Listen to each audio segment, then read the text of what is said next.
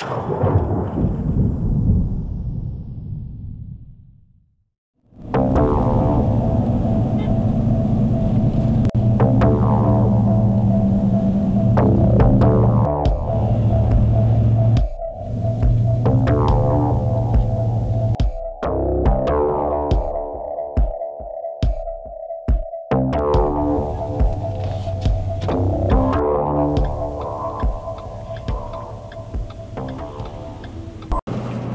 everybody, Aaron Cowan, Sage Dynamics, and today we're going to talk about shooting from the vehicle.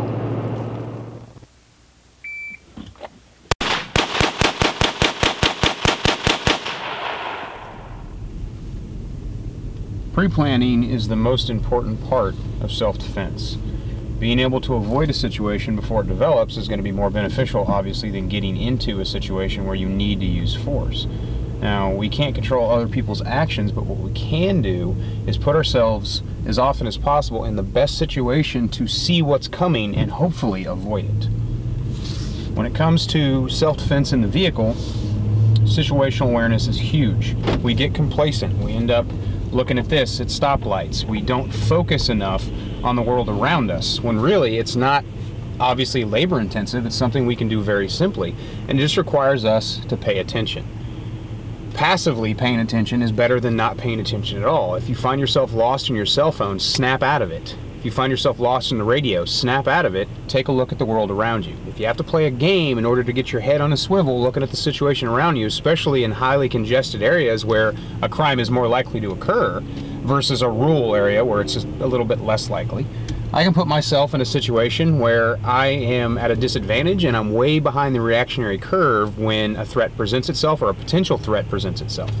Looking at my mirrors, making sure I'm aware of the situation around me, making sure I'm paying attention to vehicles, paying attention to faces, paying attention to body language of those standing on the curb, those standing on the sidewalk, what have you, I can put myself in a much better situation. Now, how do I snap out of being complacent? Uh, me personally, and I know I've mentioned this before, one of my favorite things to do is a game. I'm looking for something. I'm going to think of an object or, or a landmark or a type of color of a car or something like that, and I'm going to look for it. If I find myself getting complacent, if I'm not paying attention, I'll be like, all right, look for the yellow car. Now, I may never actually see a yellow car, but I'm looking. And while I'm, oh, there's one right there. And as I'm looking, I'm observing the rest of the world. Now, I may focus it in a little bit more. Find a guy wearing a green shirt. Now I'm looking at people versus vehicles. I'm going to continue to play this game to keep myself from getting complacent. And it's only a game until it turns serious. Now, when approaching lights, I want to leave a half to a full car length between me and the vehicle in front of me in the event that I need to maneuver. The problem with this technique, of course, is in heavy traffic, someone might assume that, that it's enough room for them to get into, and then they pull into that position, they pull into that open space you leave, and now you're left with no room to maneuver except for turning to the right, or if you're in the far left lane and there's no wall divider or high center median, turning to the left. Now, approaching the light, I'm going to give myself space to maneuver. I prefer the right lane because it will allow me to maneuver out of the lane of traffic in most situations. Obviously, that's not the case in some situations, some roads, uh, and it's something you have to be aware of. I want to place the vehicle in a position to where if something does happen, I have the ability to escape the situation without the need for violence. Proper position of your mirrors is also important. I want to stage my side view mirrors so that I can see the bottom door handle or the bottom of the rear corner panel. In that event, if someone is sneaking up the side of my vehicle, I'm able to see them. As far as the rear view mirror is concerned, I want to be able to either see the tailgate on a truck or the lid of the trunk to see if someone is behind the vehicle. Now, most modern vehicles have auto-locking doors. Uh, if you have, for some reason, disabled that feature on your vehicle, I highly recommend you reinstate it because especially with auto-locking doors, the advantage to those obviously is it doesn't allow someone immediate access. Another thing it does is it alerts you to the fact that someone is trying to make access to your vehicle if they're pulling out a door handle. Like I showed with you the mirrors, why I position them to where I can see the door handles is one, I can see if someone's physically there, and two, it's highly unlikely that somebody's going to be able to crouch lower than the door handles I'm able to see in my mirror. I want to space them out as far as possible. I still want to see the side of the vehicle and as much to the left and to the right of the vehicle as I can. I want to see as many of those blind spots as I can. The rear view mirror, same thing. I want to be able to see if anybody's behind my vehicle. Uh, in carjacking situations, they may just approach you weaving, walking through traffic, or they may approach from the rear of the vehicle and come up to the driver's or the passenger side, depending on the situation. Uh, in conversations I've had with people who have been convicted of carjacking, uh, it, it can go either way. There is no definitive answer, but one thing I do know is those who carjack from the driver's side, at least, or the passenger side rather, those I've talked to, they'll do it at knife point or gun point or whatever, tell the person to put the vehicle in park, get out of the vehicle, and then that's when they come around and take control of the car. Are they going to walk around the front of the car and make a driver's side approach on the A pillar? It's, it's unlikely, but it is a possibility. Now, we can't avoid traffic. Can't avoid putting ourselves in situations where we're more likely to have to defend ourselves inside the vehicle. It's just not realistic. It's not practical. You're going to have to travel on congested roads. You're going to have to sit at lights. You're going to have to do those things. So, taking these pre-planning steps to best prepare yourself uh, to deal with the situation if a situation ar- arises is going to benefit you greatly. All right. So, shooting from inside the vehicle. What are we talking about? Well, more likely than not, we're talking about a situation where you're in fear for your life. You're in fear for the safety of your loved ones. Um, situations such as a carjacking or a road rage situation uh, where someone is trying to attack you or successfully attacking you or, or you you have the perception that they're about to attack you uh, and you feel like you need to defend yourself um, you have objective fear for your life objective fear for your safety so you're going to go ahead and defend yourself uh, the best you're able um, is this situation most likely to occur at low speeds or high speeds uh, I would say low speeds to stopped. Uh, the faster the vehicle is traveling, the less likely you are to need to defend yourself. Now, obviously, there's exceptions to every rule, but just speaking from shooting inside the vehicle, we're going to look at the techniques that address uh, successful weapon maneuverability inside the vehicle um, with an eye towards reality. Anyone can maneuver a muzzle successfully inside a vehicle when they expect to be inside the vehicle alone. That's how a lot of people practice. Now, reality, when you leave the range um, and you're driving to the store, or the mall, or where, where, wherever you're going, do you have anybody with you? a lot of us do spend some time in the vehicle alone, especially traveling to and from work. But if it's on a weekend or something like that, do we have family members with us? Do we have loved ones with us? Do we have friends with us? If you can maneuver the muzzle safely inside a vehicle when there's passengers present, then you should have absolutely no problem maneuvering the muzzle inside the vehicle when you're by yourself. Now, this video isn't all about maneuvering the muzzle, but that's the primary intent because we need to think about where the, the attacks are most likely to come from and how best to confront them and how most efficiently and safely to do so. So we talked about pre-planning, recognizing the threat as soon as possible. Now let's look at actually getting the weapon either into the fight or getting the weapon ready for the fight that you know is coming is inevitable and you can't avoid. Uh, your draw path, um, driver side, inside the waistband, outside the waistband, hip carry, uh, left-handed shooters are going to have an advantage because they won't necessarily have to worry about the seatbelt. A right-handed shooter may have to disengage the seatbelt before they're able to draw their weapon. Appendix carry, smaller back, both of you are going to have significant body positioning challenges to draw the weapon, which is why I highly recommend no matter where you carry that you stage the weapon. Now, some states are a little weird about a, an exposed weapon in the vehicle. Um, the best thing to do is be familiar with your local laws, your state laws, what your CCW allows you to do, what have you. That being said, if you're able to, stage the weapon in a way that it's exposed, even if it's still on your person, and you're able to access it quicker. Uh, it's as simple as just pulling the shirt up and tucking it behind the, the, holster or whatever you have to do to make sure the weapon's the most accessible and ready to go. Uh, so, say, just for uh, example's sake, if I have to draw from the right side of my body, if my gun is exposed and staged and everything's already set up, I may still have to clear the seatbelt, which I can do with my support hand. It's as simple as just moving, undoing the seatbelt, and then you can get your draw path, bring your weapon out. If I'm working from the left side of my body and I have to clear the seatbelt, it's the reverse. I'm going to get my hand on my weapon, clear my seatbelt, swim out of it, and then I can get the weapon up. Now, appendix carry, the lap belt is more than likely going to be lower um, than the gun's position on your body, even if you don't stage it. But if you have to swim out of it, just use your support hand. The most important thing about the seatbelt when you're clearing a holster uh, is to not get your support hand wrapped up in it. Don't come on the inside unless you're going to use that to forcefully drag the seatbelt across your body. My personal feeling is guide everything from the buckle itself versus using the belt. Clearing the seatbelt, just push it over. Done. Um, it doesn't have to be more complicated than that. Okay, so the draw path. Uh, we'll start with right-handed shooters. I have my weapon staged, the shirt's pulled up over it, it's exposed, and it's sitting just behind the buckle of the seatbelt, which is where I ideally want it. Your carry position, um, you may adjust it in the vehicle. Uh, belt slide holsters, if you're carrying outside the waistband, are really great for that.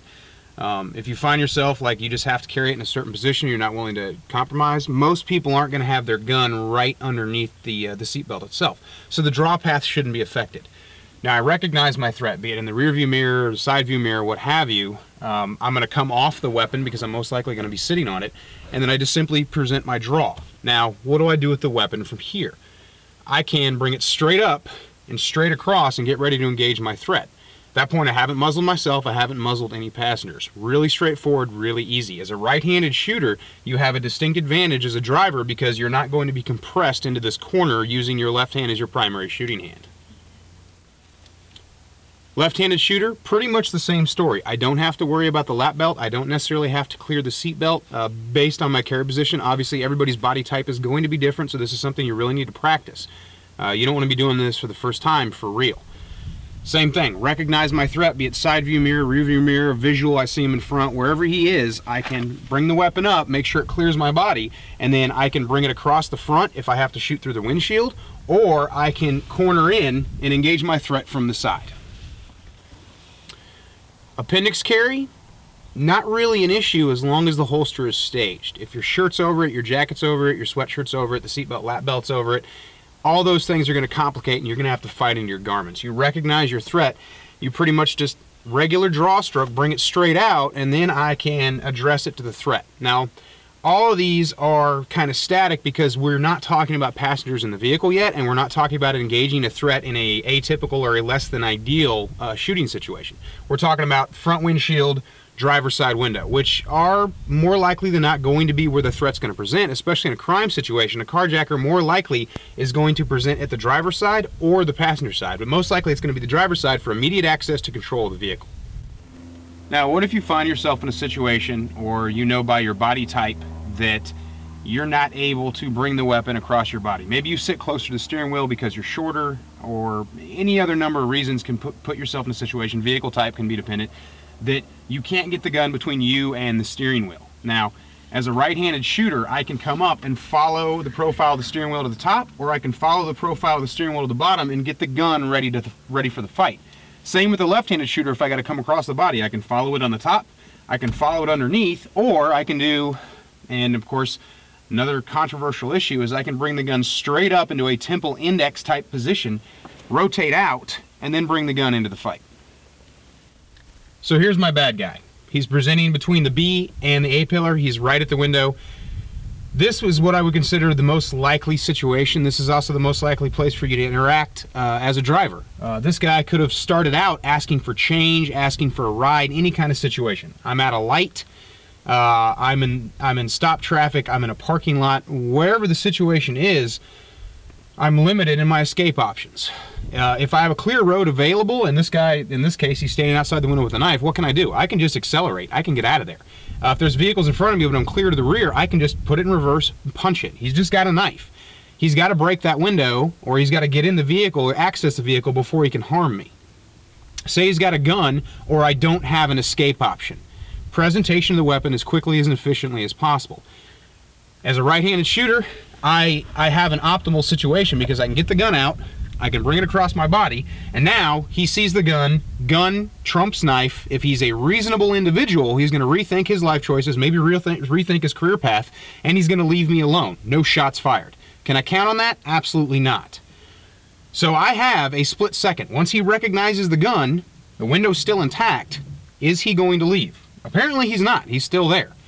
My first shot is going to have to be through the glass. I really don't have time to put the window down. I'm not really concerned with it. Windows are inexpensive, life is very expensive. My first round can't be at full extension, and it shouldn't be even if the window is down because I don't want to put the gun within his reach. I want to keep it out of his reach as much as possible. I have to shoot across my chest. I may be able to get my other hand in there. If the window is down, he's already inside the vehicle, I may be fighting with him. Have to press the gun back. This is where precise shooting is very important. And I don't mean precise is in a tight shot group. I mean precise is in, in inducing as much trauma as quickly as possible to very critical parts of the body, namely the head. This target right here stands six feet tall to the side of my truck. How big is that head in relation to how close I am to him? This is where shooting is going to occur. So when I fire my rounds, I want to put them in the area of the body most likely to induce immediate incapacitation. That's the head, the brainstem. Shoot him in the nose. If I'm if I just have to get rounds out, I don't have time to do target selection. I'm going to go center mass, center of the target offered is selected, and I'm just going to put as many rounds as I can into his chest and fight my other hand onto the gun for aimed fire. Once the window is down because I shot it out, or if the window is down to begin with because I had my window open because it's summer, or I rolled my window down to give him some change, or whatever the situation was, it doesn't really change things. The only issue at that point is he has immediate access to the weapon as soon as he sees it so he can reach inside the vehicle. Now, as a left-handed shooter, things are a little more complicated because I have to fight in this corner. I'm going to get my weapon out, but I have to rotate my body. If the seatbelt is still on, can I have an issue bringing the gun past the seatbelt? Absolutely. Time is going to dictate. You may have to fight through the seatbelt because you don't have time to clear it out of the path of the weapon and get it in the fight. Now, can I release the seatbelt? You can. I can release the seatbelt as I do my draw, bring it across my body, and then get the gun up and get it in the fight the time you have available is going to kind of uh, force the decisions you make and what you're able to do. If he's right there, the window's been broken or the window's already down, I'm already threatened, I see a window to get my weapon in the fight, I might just have time just to get the gun in the fight. Can I bring the gun up and start shooting as soon as I can muzzle towards the door? Absolutely. Are the rounds going to go through the door and hit him? Maybe. They might. I wouldn't I wouldn't count on it, but I'm not going to say it wouldn't happen. It's definitely possible bullets go through doors all the time. My biggest concern is one, if I'm shooting through the door, even if it's ineffective, it's loud noise and nobody mistakes the sound of a gunshot usually for anything else, especially in this kind of situation. Shooting through the door, bringing it up, shooting through the glass, I know that my first shot or first shots are going to be from a compressed uh, position, and I might not have both hands on the weapon. Get it up like that, bang, bang, bang, and then fight from there.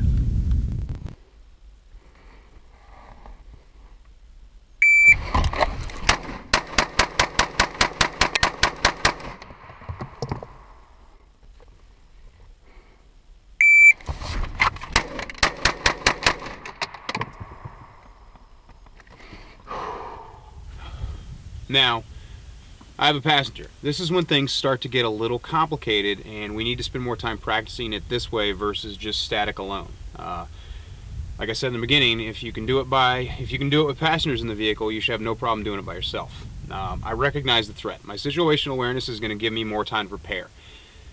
Uh, obviously, I, I can't control another person's intent. I can't control another person's actions. But the sooner I recognize the threat, the more time I have to key my passenger into the fact that there is one. If they're presenting from the driver's side, it's not that large of an issue as far as weapon safety is concerned, muzzling and things of that nature. If they're presenting on the passenger side, or if they're presenting at the rear window of the vehicle, if you have a four-door car, or, you know, there, there's an access point, there's an uh, ability for the bad guy to access you from that area, or that's just where you choose to engage him at. I have to key my passenger into the fact that there's a threat, uh, especially if they're an armed person and they can assist me, or I have to move them to safety. As a right-handed shooter, Again, gun stage, shirt pulled up and tucked behind the holster. I can access it without having to clear the lap belt. What do I do about my passenger? Do I just stick the gun straight in front of their face? Do I shove them in the floorboard? Depends on the passenger, depends on how well you've done your pre-planning. Have you ever had a discussion with this person about how you're going to address a threat in the, effect, in the event that they present on that side of the vehicle? Me personally, if it's someone I don't spend a lot of time with, like, hey, this is John from work, you know, we he, I'm just giving him a ride home. I don't really know him that well. We haven't got into the whole Second Amendment, are you a gun supporter conversation. I'm just going to move him, whether he likes it or not. It's very easy to control the body from the head. All I have to do is get a hand on him and push him down as I make my draw and get my gun up. Now, obviously, I'm going to be screaming encouraging things like, get your fucking head down, get your fucking head down the louder and the more forceful and the the more choice words I use, the more likely he is to comply because he may not have any idea what's going on, but he knows something's going on and he's going to listen for further information. Now, can someone resist you? Obviously, if I start to push him down and he doesn't want to go, I don't have a choice. I have to fight behind him. I have to get in the fight. Um, depending on the person, I can't predict his intentions. I can't predict his actions, especially if it's someone that I've never talked to about this before. I have no way of knowing how he's going to handle the fact of me putting my hands on him. If I got to grab him by the front of the shirt or whatever I have to do, I need to get him out of the way so I can get the gun in the fight. And that's just dealing with a full grown adult. If you're dealing with a 12 year old boy, 12 year old girl, things are going to be a little more complicated. This is why family planning is so important. Whoever rides in your passenger seat more than once in their lifetime needs to know that in the event that these situations take place, what they can expect you to do. Now, this is a situation where, as a left handed shooter, I would have an advantage because I'm drawing from the outside of the threat. I can right hand the person, my weapon is staged in the floorboard, down, down, down, bring the weapon up, across the top, and now I can engage my threat. First round's probably going to be through the glass. I may be able to fight both hands onto the gun. Now, as a right-handed shooter, uh, I'm at a disadvantage with the threat presenting on this side of the vehicle, whether it be this window or, or the rear of the vehicle, because I have to find a way to get their head in the floorboard and get my gun in the fight at the same time. I might clear the lap belt if I have time. Uh, I need to, you should practice both ways. Lap belt's off in this situation. I'm able to get my left hand on their shoulder, whatever I have to do. At the same time, the weapon is presenting, moving behind their back, and the gun is in the fight. A full grown adult no time present, no time available. Can I shoot in front of their face? Yeah, push the gun straight in front of their face. Um, get the muzzle past their head, engage the threat that way if you have to. I would consider that a very exigent search circumstance, very exigent situation, as in a suddenly presenting threat. You're reasonably sure that you got to get the gun in the fight because someone's going to get hurt. Down, down, down! Down, down, down, down! All right, so worst case scenario I would consider is to have a passenger in the rear right or the rear left. But the rear right is my biggest concern because as a rear left, worst case scenario, I can put the vehicle in park, I have no escape route, and I can exit the vehicle to deal with that threat to keep me from having to maneuver inside the vehicle and worry about bringing the gun between the seat and the B pillar. I don't want to have to do that. So in this situation, how do I get that person out of my clear uh, line of fire? I can't physically reach them until I release the lap belt. Do I draw first? I have a gun in my hand. I have to deal with an individual in the back. What if it's a baby in a car seat? I, I don't have the option of moving them, so I have to work through fighting past them. Worst case scenario, situ- all right, so uh, rear seat passenger uh, fighting through that rear window. It, it, there's no easy way to do this. Uh, and this is one of those situations where no matter which hand you use, which hand you're, you're going to draw from, which side of the body you're going to draw from, you're going to have to release that lap belt. Because if it's a situation where I have a six year old girl, six year old boy, I have my grandmother, my mother, whoever, someone who's not necessarily uh, cognizant of the threat, and someone who I cannot necessarily depend on instantly to, to, to go off my verbals and get out of my line, my line of fire. I have to move them first. Now, should I do that with the weapon in my hand? If I draw from the right and I move, I turn my body and I go to fight my way towards the back seat, what options do I have to clear them out of the way without muzzling them? It's really, really difficult. I might have to shoot directly in front of them. Huge safety concern, obviously, but when it comes to a self-defense situation, this is why practice to proficiency is so important and working in your, your atypical shooting situations where you have an innocent between you and the threat. What are my options? As a left-handed shooter, I can release my lap belt because I'm going to have to. I have to reposition my body. As a right-handed shooter, same story. I'm going to have to be able to turn myself in the vehicle and work and fight in that direction. Can I reach out and grab them and pull them out of the way? Absolutely. In fact, that's what I would highly recommend that you do. In this situation, I can reach back, grab them, pull them down, head into the floorboard, whatever I have to do. And at that point, no matter which hand I use, I can draw, come in straight over top of them, put a hand on them, and keep them down. Now, are there more efficient ways to clear them out of the fight? Yes and no. This is something you should practice. My personal, just basic advice is before you even present the weapon in the fight, if you have time, empty handed, put them, in, put them down, put them in the deck, positive control, and then bring the weapon into the fight. Left hand extended reach, I can put them down, I can hold their head down, stay down, stay down, stay down, and then I can draw the weapon and fight over their back. And if I have to, keep a hand on them to keep them from popping back up. That's some of the best advice I can give if you have to fight from the driver's seat. Now, this is something you can practice on your own with your loved ones to find different ways to approach it. Now, to kind of give you a different view of the technique, I'm going to release the lap belt. Right handed, left handed doesn't matter. I'm going to reach into the back of the vehicle and pull him down, pull him to the side. Let's say I pull him to the side, push him to the floorboard. Stay down, stay down, stay down, stay down. Weapon is up, out. If I have to come straight up to a temple index, muzzling is going to be a concern. If I have someone in the passenger seat as well, I can't just come straight up like that, can I? I have to be able to atypically bring the weapon into the fight. The muzzle does not exist on rails, pointed in the safest direction possible. I hold their head, hold their back, however I got to do it, and then I'm able to fight past them. If I'm reasonably sure they're going to stay down, I can go to a two-handed grip and fight that way, but I can't count on that unless I get a verbal from them. If they're too young to give a verbal, or they're too young to understand the situation, you cannot depend on them being like, yeah, I'll stay down, I'll stay down. Uh, best judgment situation. Presenting at the rear right side passenger window, uh, obviously serious concern.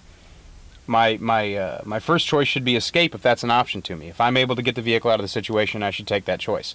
That's not an option if they're trying to break through the window, if they've already shattered the glass or what have you. I have that passenger in the rear. Now, a full grown adult or an older child is going to move away from the danger instinctually. At least we hope so. We can't depend on that, but it's highly likely that they're going to try to get away from the threat that presents to their window. If it's someone who's not aware of the threat, or the violence has not begun yet, or you're not really sure of the situation but you want to be prepared, you got to reach into the rear of the vehicle and physically move them if you have to. Don't depend on them to move by your verbals work your way, fight your way towards the back of the vehicle. If they move on their own, that's great. If they don't, you need to have a hand available to put them down. Get them out of the way. Seatbelt's released because I have to fight towards the rear of the vehicle. I may end up in the back seat. Whatever I have to do, I got to do it. One thing I will have to mention because it's very possible is if, if the vehicle's still in drive or if you're holding the clutch in on a manual transmission or whatever, do you have time to put the vehicle in park? Uh, I hope so. Not necessarily. What happens if you take your foot off the brake when you fight towards the rear of the vehicle? It's going to roll into the vehicle in front of you. Is that okay? In this situation, I'd say yes. Is it going to stall out and jerk forward in a manual transition? In this situation, I'm not really concerned with property damage. I'm concerned with the defense of life.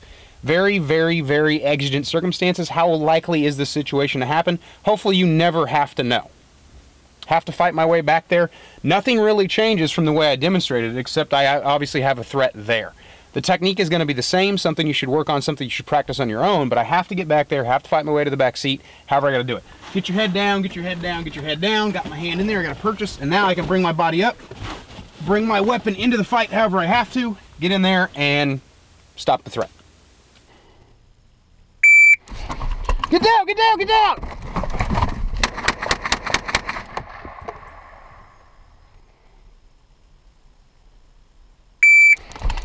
Down, down, down!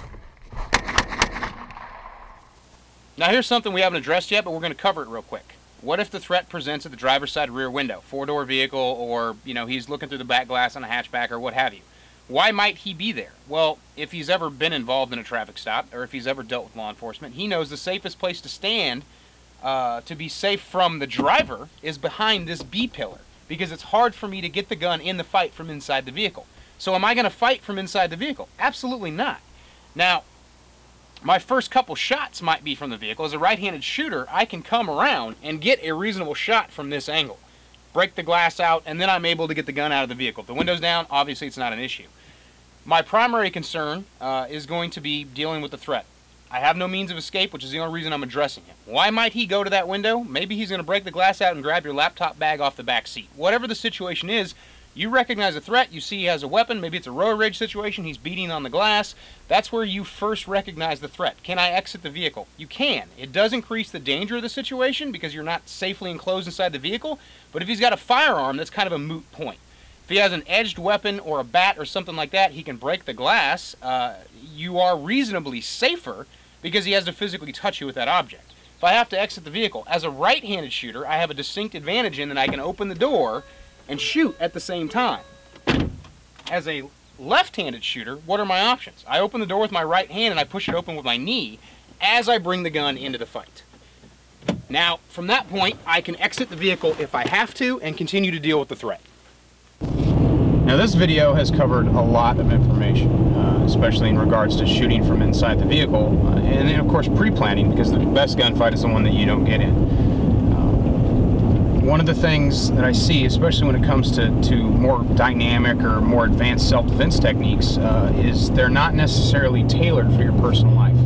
you need to tailor your practice after you've trained or, or taken a class or just looked at some information such as this video and tailor the information for your everyday life.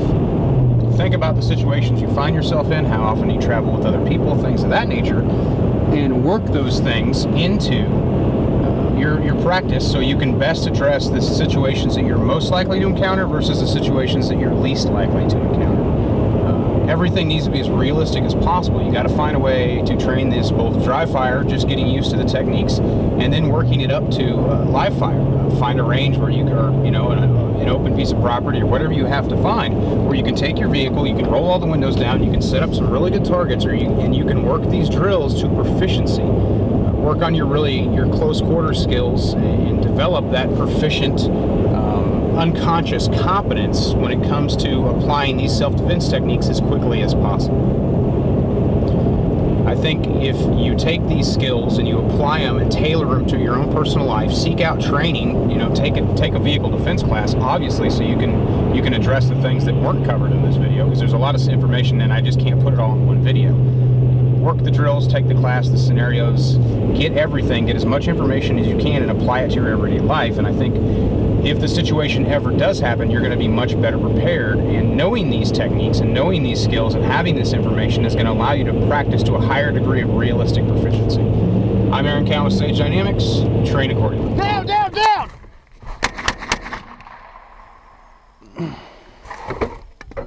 Hell yeah! What's